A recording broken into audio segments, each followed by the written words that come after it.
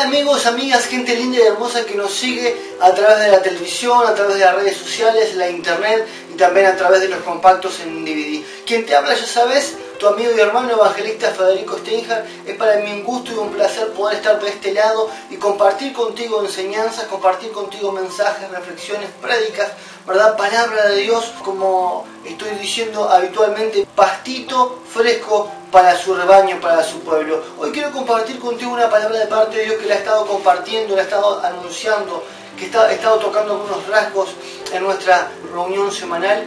Bueno, qué importante es poder compartir la palabra de Dios, ¿verdad? Qué importante es poder compartir palabras del reino, palabra proveniente desde el mismo trono celestial. Yo aquí estoy no para engrandecer mi nombre, no para mostrar mi cara, no para que yo sea conocido, sino que para que la palabra de Dios corra, para que la palabra de Dios sea anunciada, para que la palabra de Dios llegue a tu vida, llegue a tu corazón, a tu familia, a tus hermanos, a tus vecinos, para que la, palabra de Dios corra, ¿verdad? La palabra de Dios tiene que correr. El único nombre que tiene que ser glorificado y exaltado es el nombre de Cristo, el nombre de Jesús. Y hoy quiero compartir contigo una palabra de parte de Dios, una palabra clara, una palabra que se encuentra en el libro de los Hechos, en el capítulo 8, versículo 4, y vamos a estar hablando sobre qué sucede cuando Saulo comienza a asolar, a perseguir, a, matar a los cristianos, ¿verdad? Y los cristianos son dispersados. Y en, en ese momento, en ese tiempo, ¿verdad? Cuando el pueblo de Cristo comienza a ser dispersados, llega un suceso especial y voy a estar compartiendo parte de lo que es la historia del evangelista Felipe. Dice así la palabra del Señor. Predicación del Evangelio en Samaria. Mientras tanto, los que se habían dispersado iban por todas partes anunciando el Evangelio. Esto está en el versículo 4 del capítulo 8. Mientras tanto, los que se habían dispersado iban por todas partes anunciando el Evangelio. Y es lo que te estaba comentando. Luego de la persecución, ¿verdad? Esa ola de perseguir, esa ola de matar a los discípulos, a los cristianos, ¿verdad? Dice que realmente todos los que se habían dispersado, ¿qué hacían? Iban anunciando por todas partes, a todo lugar donde ellos llegaran, anunciaban el Evangelio, anunciaban las buenas nuevas, las buenas noticias, el mensaje de la salvación, el mensaje de que hubo uno que vivió, ¿verdad? Hubo uno que hizo mucho, muchas buenas obras, que sanaba enfermos, que resucitaba muertos, que echaba fuera demonios, el que caminó con nosotros, varón justo, piadoso, que murió, que descendió a, la más a las profundidades del abismo, del infierno, que venció la muerte, que resucitó el tercer día, aleluya, y que solamente creyendo en él hay salvación, hay perdón de pecados, y que hoy se encuentra a la diestra de Dios Padre, gobernando la autoridad. ¿De quién? Anunciando el Evangelio de Jesucristo. Eso es lo que estaban haciendo, eso es lo que estaban haciendo los discípulos que se habían dispersado. Y así llega la palabra de Dios a Samaria. Versículo 5 dice así, fue así como Felipe llegó a la ciudad de Samaria y allí les predicaba a Cristo. Felipe, ¿verdad? Felipe que encontramos eh, en un par de pasajes anteriores, ¿verdad? Que él lo habían levantado como como diácono, ¿verdad? Ese diaconado que explotó, que se transformó en un evangelista de, de renombre reconocido, ¿verdad? Felipe llega a Samaria y comienza a predicar de Cristo. Dice el versículo 6, toda la gente escuchaba con atención lo que les decía Felipe y oían y veían los milagros que él hacía. Qué tremendo, ¿verdad? Porque la gente lo escuchaba con atención. ¿Verdad? Por lo general hay dos dos espectadores. Está el espectador que escucha pero que le entra por un oído y le sale por el otro. O sea, en pocas palabras escuchó pero más nada, ¿verdad? Y se encuentran los otros tipos de espectadores que escuchan pero con atención, atentamente el mensaje, a ver qué está diciendo este bueno, a ver qué está diciendo esa mujer, ¿verdad? Entonces dice que a Felipe lo escuchaban atentamente, pero no solamente eso, sino que oían y veían los milagros que él hacía que eran tremendos. Qué verdad, qué bueno, ¿verdad? Que la gente pueda testificar, que la gente pueda decir, uy, mira lo que está, lo que está sucediendo en tal lado, el mover de Dios es tremendo, hay milagros, hay sanidad, hay un cambio, hay una transformación. Entonces la gente estaba oyendo lo que sucedía con Felipe, pero no solamente oían, no solamente se corría la voz, no solamente se corría la voz, el mensaje, sino que también veían con sus propios ojos el poder de Dios, el poder sobrenatural de Dios sobre la vida de Felipe. Felipe estaba lleno del poder de Dios.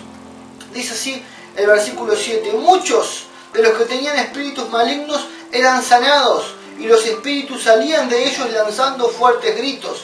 También muchos de los cojos y paralíticos quedaban sanos y había una gran alegría en toda la ciudad. Toda la ciudad de Samaria estaba alegre, estaba feliz ¿verdad? Porque Cristo había llegado a, ese lugar, porque el Evangelio había llegado a ese lugar, porque la palabra de Dios había entronado, porque su poder se había desatado sobre la vida de las personas y cuántas personas estaban angustiadas, atadas, atormentadas, enfermas, ¿verdad? ¿A causa de qué? De que no estaba Cristo. ¿A causa de qué? De que habían principados, potestades, huestes, demonios de todo tipo, todo rango, toda especie y tamaño espantoso, ¿verdad? dice, muchos que tenían espíritus malignos eran sanados. ¿Qué entendemos? La enfermedad física también tiene un trasfondo espiritual. Entonces, ¿qué dice la palabra? Dice, muchos de los que tenían espíritus malignos eran sanados. Y los espíritus salían de ellos lanzando fuertes gritos. También muchos de los cojos y paralíticos quedaban sanos. Había gente que estaba enferma, ¿verdad? Había gente que estaba atada, pero porque tenían eh, problemas espirituales, habían demonios dentro de sus cuerpos, estas personas estaban atadas y atormentadas por estos espíritus malignos, pero habían también otro tipo de personas que ya tal vez estaban cascoteadas por la vida, vaya a saber, ¿verdad? Dice que eran personas cojas, habían personas rengas, problemas que tenían problemas en los huesos, y habían paralíticos que también eran sanados. Qué tremendo, cuando viene Cristo sana, Cristo no anda con vuelta, ¿verdad? Cristo sigue sanando aún hoy, dice que había gran gozo, gran alegría en, en toda la ciudad de Samaria. Pero vamos a versículo 9. Había en Samaria un hombre llamado Simón que antes había practicado la magia y con ella engañaba a la gente, pues le hacía creer que era muy poderoso. Todos, desde el más pequeño hasta el más grande, lo escuchaban con mucha atención y decían que era el gran poder de Dios. Pues con sus artes mágicas había captado su atención y por mucho tiempo los había engañado. Pero muchos hombres y mujeres se bautizaron cuando creyeron a Felipe y a las buenas noticias que les anunciaba del reino de Dios y del nombre de Jesucristo. Incluso el mismo Simón creyó y se bautizó y siempre andaba con Felipe y lleno de asombro veía las señales y los grandes milagros que Felipe hacía. Los apóstoles que estaban en Jerusalén se enteraron de que en Samaria se había recibido la palabra de Dios y enviaron a Pedro y a Juan. Cuando estos llegaron, oraron por ellos para que recibieran el Espíritu Santo, porque el Espíritu aún no había descendido sobre ninguno de ellos, ya que solo habían sido bautizados en el nombre de Jesús. En cuanto les impusieron las manos, recibieron el Espíritu Santo. Y al ver Simón que el Espíritu Santo se recibía por la imposición de manos de los apóstoles, les ofreció dinero y les dijo, denme también a mí este poder, para que cuando yo imponga las manos sobre cualquier persona, ésta reciba el Espíritu Santo. Al oír, Pedro le dijo que tu dinero perezca contigo si crees que el don de Dios puede comprarse. Tú no tienes nada que ver en este asunto porque en tu interior no eres recto con Dios. Arrepiéntete de tu maldad y ruega a Dios. Tal vez te perdone por este mal pensamiento. Por lo que veo estás en manos de la amargura y la maldad. Simón respondió, rueguen por mí al Señor para que no me sobrevenga nada de lo que han dicho. Después de haber testificado y proclamado la palabra de Dios, ellos volvieron a Jerusalén y en muchas poblaciones de los samaritanos anunciaron el Evangelio. ¡Wow! ¡Qué tremenda palabra! ¿Verdad? ¡Qué tremendo suceso lo que encontramos aquí! Encontramos que en Samaria había un hombre que se llamaba Simón, el cual había practicado magia por mucho tiempo. No, sé qué tipo de magia, si era ocultismo, hechicería, brujería vudú, no sé si era macumba, un banda, quimbanda, si, era un, si él decía que era un, un sanador, un santero, ¿verdad? Un curandero, no sé si era un chamán, eh, si tirar las cartas del tarot, no sé cuál era, pero la gente creía que este hombre tenía poder. Y con ella había practicado la magia y con ella engañaba a la gente, pues le hacía creer que era muy poderoso. Aquí encontramos algo, ¿verdad? Que hay, hay, personas que de repente hacen creer que tienen poder, ¿verdad? Y dice que la gente estaba engañada. La gente estaba engañada y pensaba que este hombre era poderoso por las prácticas que estaba realizando. ¿Verdad? La gente estaba teniendo miedo, ¿verdad? Y dice, todos, versículo 10, desde el más pequeño hasta el más grande, lo escuchaban con mucha atención y decían que era el gran poder de Dios. Qué tremendo, ¿verdad? Cuando dice todos, desde el más grande, desde el más grande hasta el más pequeño, varias generaciones, varias edades, cuántas familias, cuánta gente, ¿verdad? Creía que este hombre tenía un poder, un don, entre comillas, ¿verdad? Que este hombre, no sé si se había pasado por un curandero, por un santero, un hechicero, no sé, pero este hombre a través de su magia, a través de sus engaños, ¿verdad? Él tenía toda una ciudad en jaque y, él recibió la adoración y, él creía que era una persona importante, ¿verdad? Por esa función. Pero ¿qué sucede? Dice, pues con sus artes mágicas había captado la atención y por mucho tiempo los había engañado. Las prácticas de esta persona habían hecho que, fuera furor, ¿verdad? Que, fuera un, personaje público, que era, era conocido, su nombre era renombrado, pero lo más tremendo, ¿verdad? Que no, no era, la gente creía que era un don de Dios, que era un poder de Dios, pero realmente eso era un engaño, era una mentira, no era proveniente de Dios las prácticas que este hombre tenía, ¿verdad? Y dice, pero muchos hombres y mujeres se bautizaron cuando creyeron a Felipe y a las buenas noticias que les anunciaba del reino de Dios y del nombre de Jesucristo. Mucha gente comenzó a creerle a Felipe. Felipe, me imagino, estaba haciendo campañas, campañas de gloria, campañas de poder, de unción. Vengan arrepiéntanse, conozcan a Cristo, al Cristo de la. Me lo imagino a Felipe lleno del poder de Dios, ¿verdad? Orando, reprendiendo, echando fuera demonios, sanando enfermos, el poder de Dios fluyendo, el poder sobrenatural de su Espíritu Santo, ¿verdad? Y mucha gente creyendo, ¿verdad? Por lo que veían, por lo que escuchaban. Se había corrido la ola de que había venido Felipe el evangelista, ¿verdad? Y en pocas palabras mucha gente estaba saliendo del engaño de creer en aquel hombre que hablaba muy bonito, que tal vez hacía prácticas y hacía cosas, pero realmente el poder de Dios no estaba en esa persona. ¿Y qué sucedió? Sucedió que Simón se dio cuenta que había uno que sí era verdadero, que no era falso, que no era charlatán y que tenía todo el poder. Y Simón dijo, no, me cambio de bando. Dice versículo 13, incluso el mismo Simón creyó y se bautizó y siempre andaba con Felipe y lleno de asombro veía las señales y los grandes milagros que Felipe hacía. Qué tremendo, ¿verdad? En pocas palabras se desenmascaró y dice, no, yo quiero lo que tiene ese hombre, ¿verdad? Y en pocas palabras, el momento desde que él se arrepintió, que dejó las prácticas, el ocultismo, la, magia, dice que él andaba con Felipe para todos lados.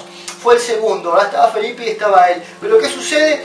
Sucede que los apóstoles se enteran de que Felipe eh, eh, estaba ganando almas, de que, había sido eh, exitosa la campaña, que muchísimas personas se habían entregado a Cristo, pero ¿qué sucedía? Había muchos milagros, muchas sanidades, pero aún no había sido derramado el Espíritu Santo sobre las personas. Entonces, a quienes llaman, se comunica Pedro, Pedro y Juan, ¿verdad? Y, y dicen, bueno, vamos nosotros y los activamos. Entonces Pedro y Juan yo los considero que eran los activadores. Ellos llegaban y ponían las manos y se derramaba el, Espíritu Santo. Entonces dice los apóstoles que estaban en Jerusalén se enteraron de que en Samaria se había recibido la palabra de Dios y enviaron a Pedro y a Juan. Cuando estos llegaron, oraron por ellos para que recibieran el Espíritu Santo, porque el Espíritu aún no había descendido sobre ninguno de ellos.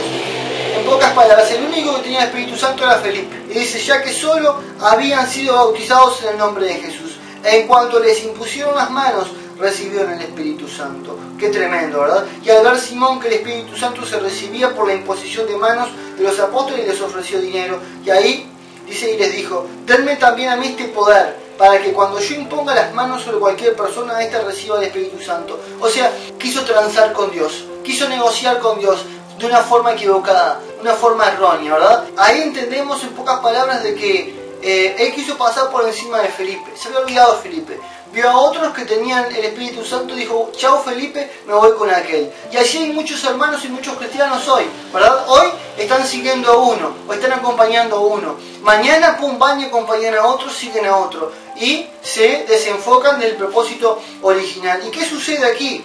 Sucede esto. Al oír esto, Pedro le dijo que tu dinero perezca contigo si crees que el don de Dios se puede comprar.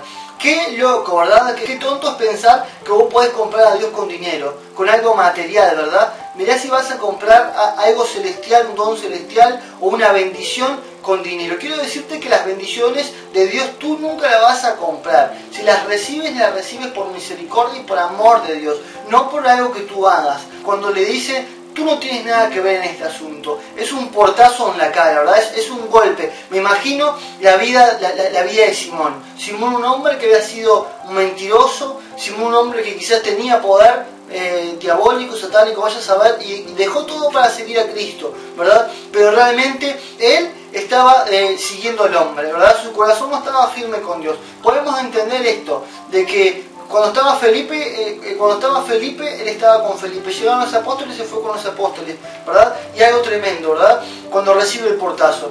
Qué tremendo debe ser para una persona que dejó todo lo malo, ¿verdad? Dejó todo lo malo, dejó las prácticas, dejó el ocultismo, dejó a Satanás, dejó la vida, entre comillas, del pecado, del error, y, que haya error en tu vida aún así. Que aún así tú sigas equivocado, que aún así tú sigas desenfocado, ¿verdad? Me imagino también Felipe. Felipe quizás sabía, sabía cómo estaba el corazón de Simón, Pero él permitió que, se diera esta situación, ¿verdad? Para que él creciera, ¿verdad? Recibió el portazo de parte de los apóstoles. Qué tremendo debe ser para una persona que te diga, mira, vos tenés nada que ver acá. ¿Verdad? Y eso, esas fueron las palabras que recibió Simón. Tú no, tienes, no, tú no tienes parte en este asunto, tú no tienes nada que ver con Dios. El Espíritu Santo contigo ni ahí. Fue un portazo, fue literalmente le cerraron la puerta en la cara. Me imagino cómo se habrá sentido, indignado, golpeado, golpeado en su orgullo, golpeado quizás en su convicción personal fue un golpe, ¿verdad? Fue un trato de Dios directo con él a través de los apóstoles, ¿verdad? Entonces le dice, tú no tienes nada que ver en este asunto, porque en tu, en tu interior no eres recto con Dios. O sea, arrancaba el tema por el interior. Hay muchas personas que se fijan en lo exterior. Ah, yo estoy con el evangelista, yo estoy con el pastor, yo estoy en la obra, yo soy un líder, yo soy esto, yo soy, lo otro, ¿verdad? Y es la apariencia. Y a Dios no le interesa la, apariencia, ¿verdad? Lo exterior a Dios no le importa, porque por tus obras exteriores no vas a ser justificado delante de Dios, sino por tu interior, por tu corazón, por tu ser, personalmente. Porque yo conozco muchas personas que hacen muy buenas obras y no tienen nada de Cristo, no son cristianas, son ateas, son inconversas. Conozco gente que de repente si tú, tú golpeas una casa, de repente te dan dinero o, te dan de repente vestimenta o te dan alimentos y esa gente anda en delitos. ¿verdad? Entonces, por ejemplo, imagínate este ejemplo. Va un niño a, a, pedir a una casa, ¿verdad? Golpea las manos, ¿verdad? Pide alimento, pide si no le dan un pan y sale un, hombre, ¿verdad? Y le da un surtido, dice, toma niño, llévate surtido, ¿verdad? Y alguien que lo ve afuera dice, uh, qué bueno ese hombre, qué solidario, qué buen corazón, y de repente es un narcotraficante, ¿verdad? O, entonces digo, es verdad, lo exterior nunca va a justificar tu interior. Entonces aquí el problema comenzaba en el interior, comenzaba adentro de, su ser, ¿verdad? Y algo tremendo, porque le dice, porque en tu interior no eres recto con Dios. ¿Cuántas veces las personas no son rectas con Dios? Están torcidas, ¿verdad? Tú tienes que hoy meditar, hoy tienes que reflexionar, decir, uy, ¿cómo está mi interior delante de Dios? ¿verdad? En lo íntimo, en lo secreto, cómo está tu interior delante de Dios. No lo exterior delante de, delante de las personas, porque no importa, eso, eso no, no sirve para nadie más aprovechar. Lo que importa es tu interior delante de Dios. Tú estás torcido, estás torcida, ¿verdad? Fíjate que es importante que si estás torcido hay que enderezar, ¿verdad? Imagínate un árbol que crece torcido, ¿qué sucede? Se va a caer el árbol, va a ser, un peligro o en pocas palabras lo van a cortar. Entonces, para que el árbol eh, siga derecho, para que no se tuerza, se le pone una bala, ¿verdad? Se le, se le pone algo que lo sostenga y se le precinta o se le ata para que crezca derecho. Es importante que crezca derecho, que llegue a, la altura que tiene que llegar, que no se tuerza. Entonces, tú no te tienes que torcer, tú no te tienes que salir de la línea de lo que Dios ha trazado para ti, ¿verdad? De lo que es la voluntad de Dios. Tú no tienes que torcerte, ni izquierda ni derecha. Tienes que crecer firme, crecer fuerte, crecer tienes que ser recto delante de Dios. Cuando hablamos de una persona que es recta, es una persona que es íntegra, es una persona que tiene palabra, que lo que dice es. Y, está bueno eso, ¿verdad? Porque digo, realmente que tú puedas ser un cristiano verdadero, un cristiano auténtico, que, que otros cristianos se gocen de conocerte, que realmente tú puedas entender que hay cristianos verdaderos, que sucedió como cuando Elías dice, no, porque solamente yo he quedado, soy el último. Y el Señor le dice, mira, dejate de, echar las baratas porque hay 7.000 que no han doblado sus rodillas, dejate de historia. O sea, tú no sos el único ni la única. Hay gente verdadera, hay gente auténtica, hay cristianos íntegros, hay cristianos, eh, hijos e hijas que son rectos delante de mí, ¿verdad? Y yo quiero que tú seas así, le dice el Señor. Entonces me imagino, me imagino a este Simón, ¿verdad? Eh, y aún los apóstoles le seguían, eh, seguían descubriendo más, más cosas que el Espíritu le revelaba de cómo estaba la vida de Simón. Simón que sí se estaba congregando, Simón que sí que asistía a las reuniones, a los cultos, a los servicios, andaba para todos lados con Felipe el evangelista, con la autoridad en ese momento, pero cómo estaba el corazón, ¿verdad? Y así cuántas situaciones, cuántos hermanos y hermanas que de repente tú lo ves que están los domingos, ¿verdad? Y en su interior. Y esta es una reflexión para ti, ¿verdad? ¿Cómo está tu interior? Realmente tú estás en el bullicio, en el ruido que vas para todos lados, pero en tu interior, ¿cómo está tu interior? ¿Estás recto o estás medio torcido, media torcida? ¿Te está faltando integridad delante de Dios? ¿Te está faltando sincerarte con Dios?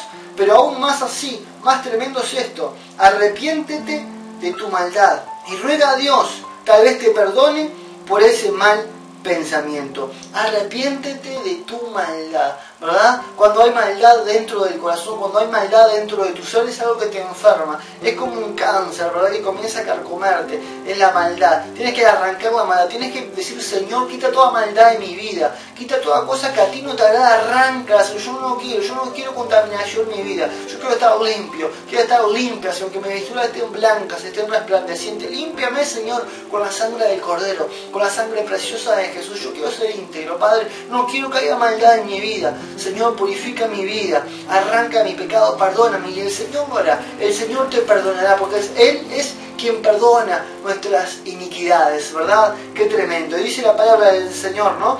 Arrepiéntete de tu maldad y ruega a Dios. Es importante rogarle a Dios. Es importante volver al hábito maravilloso de lo que es la oración, porque con la oración tú vas a romper las cadenas del enemigo, se van a pudrir los yugos. Cuando tú comienzas a rogar delante de Dios, cuando tú doblas rodillas, ¿verdad? Que tus rodillas, este, que conozcan, que tus rodillas conozcan lo que es tocar el suelo, ¿verdad? Y es rendirte ante Dios, es doblegar tu orgullo, es matar el yo. Tenés que matar el yo. De repente estás muy cogotudo, muy copete para arriba, ¿verdad? De repente estás muy narecita para arriba, estás muy muy creída delante de Dios. Tienes que bajar los humos, tenés que humillarte, doblegarte. Él es el Altísimo, Él es el Rey de Reyes. Entonces vamos a darle toda la gloria vamos a adorarla, a exaltarla, vamos a rogar que derrame de su misericordia y de su amor, que nos mande su compasión, ¿verdad? Porque de tal manera amó Dios al mundo, que nos mande de su amor, ¿verdad? Que nos cubra con su amor. Y vamos a rogarle al Señor que se rompa toda iniquidad, que se rompa todo eso que nos sirve y que quite nuestra vida, que nos delibre la maldad.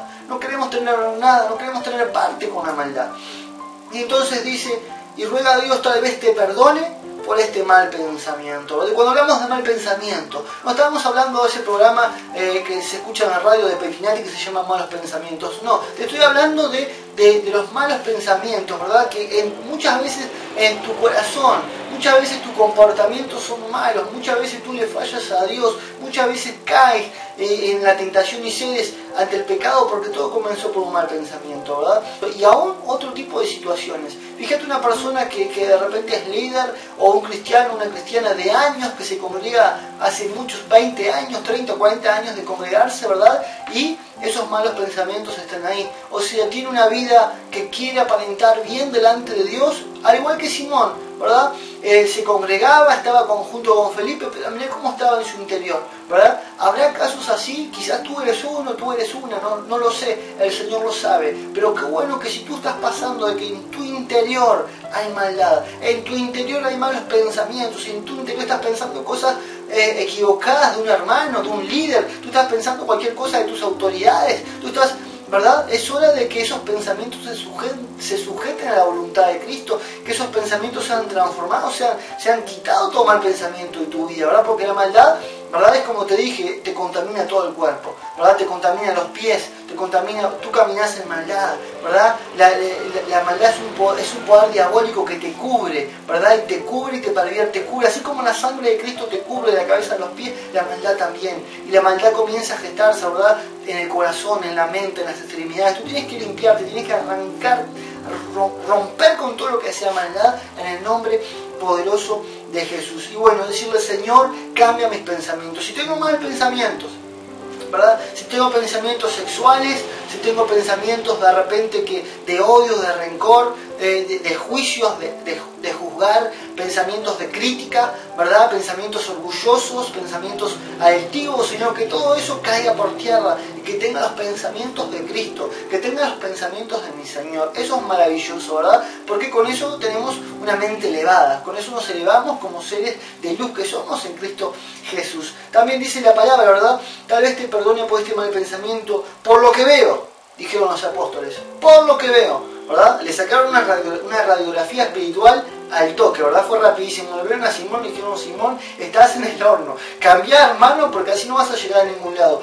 Por lo que veo, estás en manos de la amargura y la maldad. Y dice, estás en manos de la amargura y la maldad. Los presento como si fueran personas, ¿verdad? Entonces estamos hablando de que la amargura y la maldad son espíritus, son demonios que vienen y atrapan a la persona. Y Simón se encontraba, si bien había sido libre, si bien le había entregado su vida a Cristo, se había bautizado, aún así, aunque era cristiano, se congregaba y, era, y era obediente, entre comillas, a Felipe, su autoridad, él estaba atrapado y su vida estaba en crisis. ¿verdad? Su vida estaba en un colapso, estaba en un caos y en este momento realmente quizás él, a los ojos de todo el mundo, parecía que había dejado las prácticas, que había sido restaurado, transformado, estaba viviendo sus años de cristiano, pero ¿qué sucede? Su interior, ¿verdad? Su interior estaba de, deshecho, su interior estaba hecho pedazos, había malos pensamientos, su corazón contaminado de maldad y lo peor de todo estaba atrapado por por un demonio que se llamaba amargura y por otro que se llamaba maldad.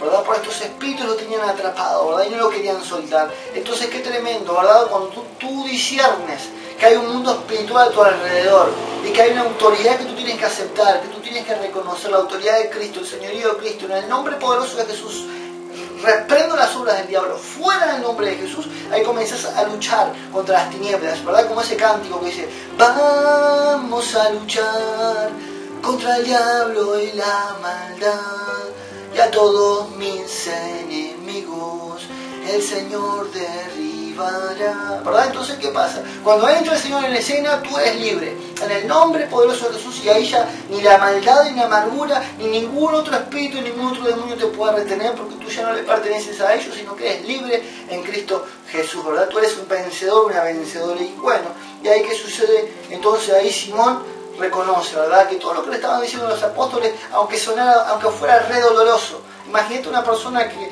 que, aparentemente está haciendo las cosas bien, le dicen, mira, loco, estás en el horno, y le cerraron, literalmente le habían cerrado la puerta en la cara, tú no tienes parte, tú no tienes nada que ver con el Espíritu Santo, Fue un portazo, fue un portazo, me imagino, él se puede haber sentido, haberse ido, como hacen muchos hermanos que se enojan con un predicador, se enojan con una predicadora, se enojan con un líder, se enojan con un hermanito, y pum, me voy, total me voy y que saben hacer hablar mal de todos los hermanos, hablar mal de la congregación y eso justamente es la maldad que está arraigada en sus vidas y los malos pensamientos, ¿verdad? Entonces qué tremendo que hoy el Señor nos exhorta a la parte interior, no a la parte exterior. Al Señor, o sea, te digo la verdad, al Señor eh, le da lo mismo. Si tú estás al lado de Felipe, si tú estás al lado de Felipe le da lo mismo. No interesa, no sirve de nada, porque puedes estar al lado de Felipe y estar hecho pomada.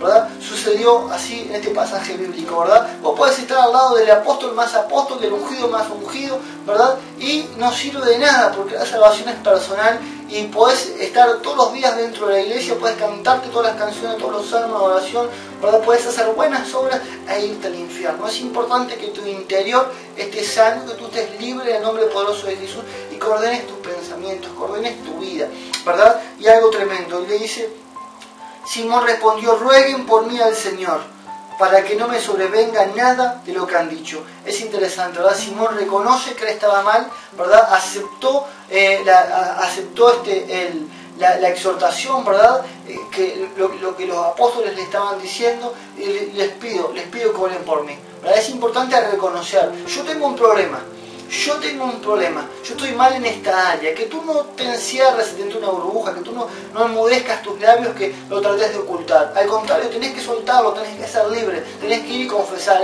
ir ir a tu líder, ir a tu pastor, a tu, al, consejero espiritual que tú tengas y decirle, mira, me está pasando esto, esto, esto. Si es algo mal pensamiento, mejor. Andar corriendo ya y decirlo, confesarlo, soltarlo, porque vas a poderoso, en el nombre poderoso de Jesús. Y una vez que seas libre vas a poder caminar en otro nivel espiritual. Va a ser otro, vas a experimentar el gozo y las bendiciones completas en Cristo Jesús.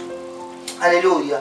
Entonces, después de haber testificado y proclamado la palabra de Dios, ellos volvieron a Jerusalén y en muchas poblaciones de los samaritanos anunciaron el Evangelio. Qué tremendo, ¿verdad? Luego de este suceso, luego de este encuentro, de este choque, que habrá sido un choque emocional espiritual, me imagino, ¿verdad? Como te estaba compartiendo, ¿verdad? Debe ser feo que te digan en la cara eh, lo peor de vos para que te digan lo peor de vos en la cara, ¿verdad? Y me imagino, Simón, ¿verdad? Simón se podría haber revelado, se podría haber ido, pero Simón agarró y dijo, voy a matarme yo porque cuántas veces estuve equivocado, cuántas veces me he equivocado, Dios de lo que me ha librado, ¿verdad? Y, y él dijo, dijo, reconozco que estoy mal, rueguen ustedes, oren por mí. Estoy necesitando ayuda. Yo quiero realmente un cambio para mi vida. Yo no sé de qué el Señor te ha sacado, de qué el Señor te ha librado. ¿Verdad? No sé si tú has estado en la magia negra, en el ocultismo, en el espiritismo, no sé qué. ¿Verdad? Esto es, simplemente, eh, simplemente para decir, bueno, ¿de dónde te sacó el Señor? Recuerda de dónde te ha sacado el Señor.